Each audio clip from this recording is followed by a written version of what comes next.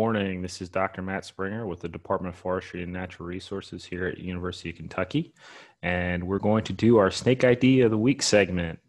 As always, I want to start off by highlighting our wonderful snake identification website, which is a great resource for you and can be found at kysnakes.uky.edu. Let's get going with our submission for the week.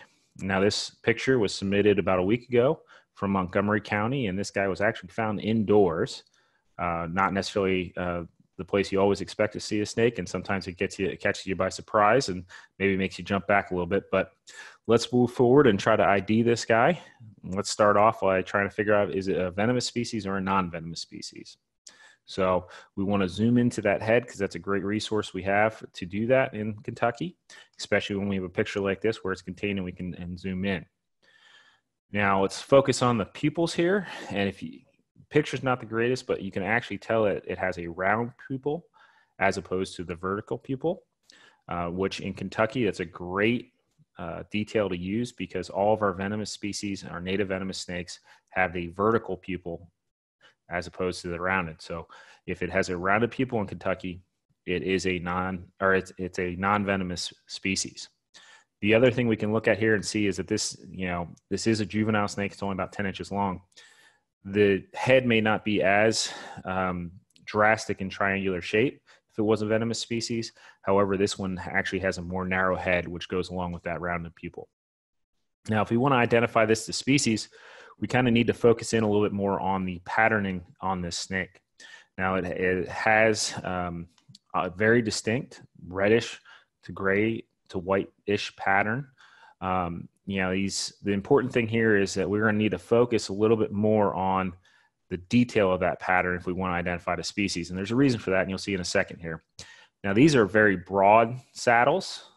So they are narrow at the top and or they're wide at the top and narrow towards the, the belly. They also are more of a saddle as opposed to a rounded circle. And the reason that's um, important here is there's two species of snake in Kentucky that have pretty similar markings as juveniles uh, to the one that we have pictured here. Now, I pulled up another species, there's a picture of a, a snake species that is going to share a similar look to this one. Now, the, the picture isn't the greatest in terms of comparison, but it has some details on it that stick out a little bit better.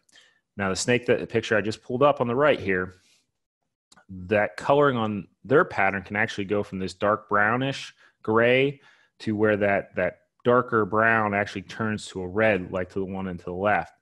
But the picture on the right here those sat those those brown or red marks on that snake will always be a much smaller banding and more circular in shape. And that's because that species is actually the black racer and it's a juvenile of that.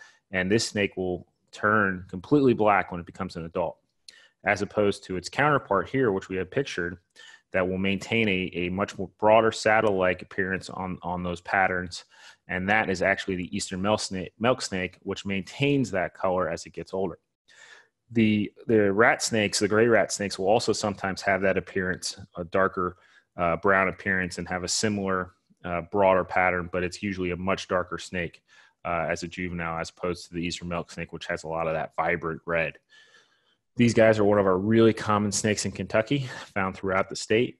Uh, often um, they're found around agricultural buildings, barns, uh, and that's actually kind of where their name came from. Uh, dairy producers would see them in their barns with their cows quite often. They thought they were actually attaching themselves to others and feeding off the milk, which snakes can't do. They can't process milk. What they were really doing is they were in there trying to help them with some rodent control uh, for those rodents that were after the cow feed. So these guys completely harmless, really common, and a quite pleasant appearance uh, if you uh, enjoy snakes. Uh, they're one of our more colorful species in the state. As always, I want to end with uh, some facts and, and tidbits on snakes and make sure that you always identify what snake you're dealing with. And if you can't, give it a wide berth and go around it and leave it alone. It's probably going to try to get away as just as fast as you do. If you want to limit how many snakes are using your areas around your house or garden, you want to reduce shrubby areas in those spaces, keep your grass mowed short, and eliminate habitat for rodents, whether that be cover or food, which is what the snakes are usually after looking for. Remember, there's lots of positive benefits to having these guys around. And as always, use that Kentucky Snake website when you need it. And if you can't find what you're looking for, please reach out to us here at the Department of Forestry and Natural Resources and we'll help you out. That website's kysnakes.uky.edu. That way you have it one more time. Have a wonderful rest of the day.